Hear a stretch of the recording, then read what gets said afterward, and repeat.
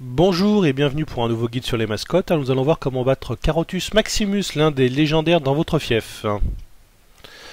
Alors pour battre Carotus Maximus, donc vous allez prendre la team euh, tueuse de légendaire. Vous avez besoin de deux pets, donc un esprit de l'eau et un Chrominus. Ça suffit. Donc on commence avec le geyser.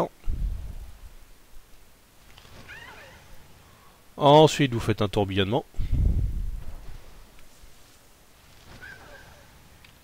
Là, vous switchez sur le Chrominus. Vous mettez le hurlement.